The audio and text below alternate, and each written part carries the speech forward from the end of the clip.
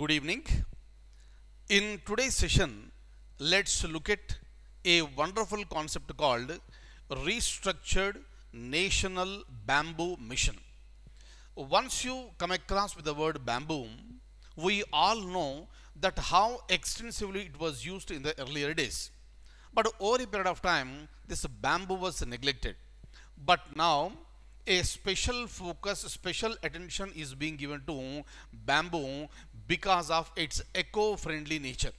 That's the reason why if you look at, you know, the Kempegowda airport, very recently a new terminal has been started.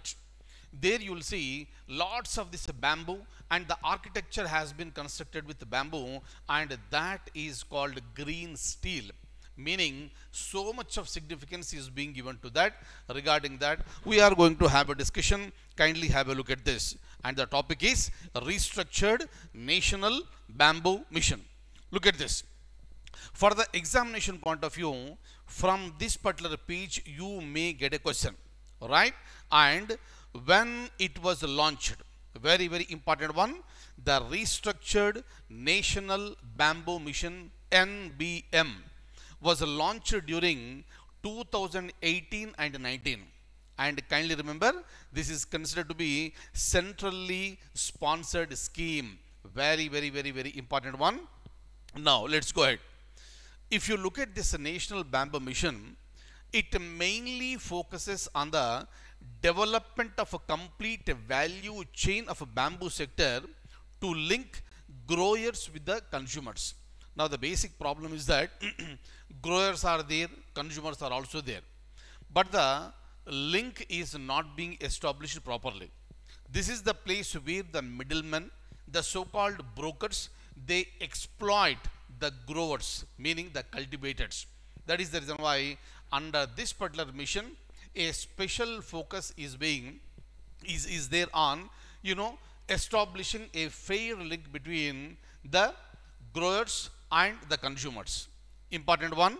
Now, if you look at this, uh, I told you just now, recently the Prime Minister has inaugurated the new terminal of Bengaluru and that is called Kempegowda International Airport as you all know, in which the versatility of bamboo as an architectural and structural material has been proved and the density of this green resource defined as important very very very important one.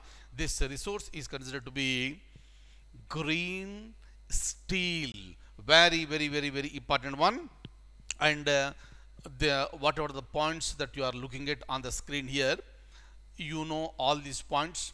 And when it comes to bamboo so this is a reliable source for ethanol and bioenergy production due to its fast rate of growth and abundance. And the market for bamboo, bamboo based lifestyle products, cutleries, home decors, handicrafts and cosmetics, cosmetics is also in a growth path. Clear? Look at the last line, last paragraph. The National Bamboo Mission is striving to bring the benefits of this growing sector to the farmers and the human resources of the nation. Kindly remember, when it comes to any, you know, this cultivation, that has to be linked to the, that has to be linked to the, you know, uh, our agriculturists, our farmers in India. Because they are the largest, uh, because these are the people who got exploited, who got exploited in a very largest manner. That is the reason why there is a necessity to protect our farmers in India, the agriculture in India, they have to be protected.